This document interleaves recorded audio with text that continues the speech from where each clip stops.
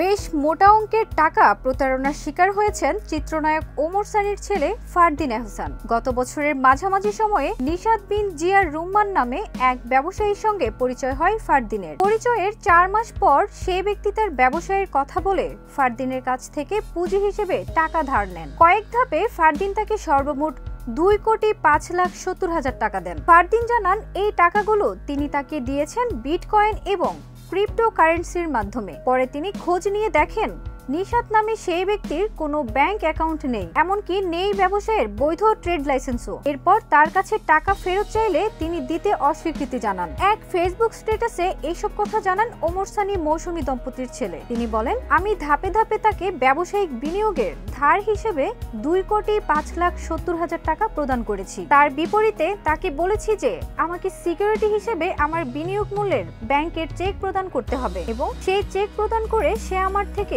চলতি বছরের জানুয়ারি মাসে পুরো টাকা বুঝে নেন। কিন্তু এক মাস যেতে না যেতেই তার বিভিন্ন বাহানা শুরু হয়। তিনি আরও বলেন, এটি একটি ব্যবসায়িক চুক্তি। একজন ব্যবসায়ীর সাথে আরেকজন ব্যবসায়ী। প্রথম মাসে আমি সহ সবাইকে চুক্তি মোতাবেক অর্থ প্রদান করলেও তারপর থেকে শুরু হয় বিভিন্ন বাহানা। আর্থিক অর্থ লাভের লোভে কোনো অ্যাপস বা সফটওয়্যারে কোনো টাকা দেওয়া হয়নি। আমি এবং তার পাশাপাশি আরও যারা ভুক্তভোগী আছেন, সকলেই তাকে একজন স্বনামধন্য ব্যবসায়ী এ এল এম জিয়াউর হকের ছেলে। নতুন একটি ব্যবসা করতে চাচ্ছে। সেই সুবাদে অর্থ বিনিয়োগ করে। যখন এই ছেলে আমাকে এবং অন্যদেরকে টাকা দিতে ব্যর্থ হন তখন তার বাবার সাথে দেখা করলে তার বাবা আমাদেরকে আস্তে আস্তে টাকা দিয়ে দিবেন বলে আশ্বাস দেন। তারপর গোপন সূত্রে জানতে পারি তারা সবাইকে একই কথা বলে সবার থেকে কিছু সময় আদায় করে নিচ্ছিলেন। তার বাবা আমার কাছে পাঁচ দিনের মতো সময় চেয়েছিলেন। তিনি সুইজারল্যান্ডে যাবেন, সেখান থেকে এসে আমার সঙ্গে মিটিং করার কথা থাকলেও আজও তা হয়নি। বিভিন্ন সময় তার কাছে আমার টাকা ফেরত চাইতে গিয়ে আমাকে এবং আমার অফিসের কর্মচারীদের হয়রানির শিকার হতে হয়। কিন্তু আমরা যখন আমাদের টাকা চাচ্ছি, তখন তিনি তার পার্টনার সাহিল মুস্তাফি এবং তার স্ত্রী আফরা, যিনি এই পুরো স্ক্যামের মধ্যে জড়িত, দুবাই ঘুরে বেড়াচ্ছেন। নিশাদ বিন জিয়া প্রতারণা করে দুবাই অর্থ পাচার করে।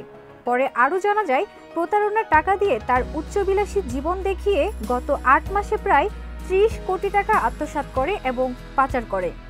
ফারদিন জানান, এই ভণ্ড প্রতারকের ভণ্ডামি দেখে এক মাস আগে তার প্রদানকৃত সব চেকগুলো নিয়ে তাকে লিগ্যাল নোটিশ প্রদান করে। সেই সঙ্গে ডিবি অফিসে অভিযোগ দেন।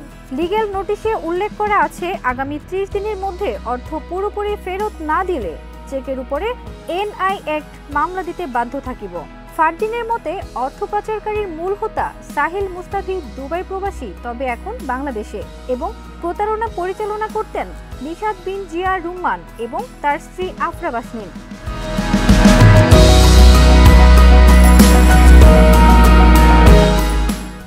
নিকিতা দেশ রূপান্তর।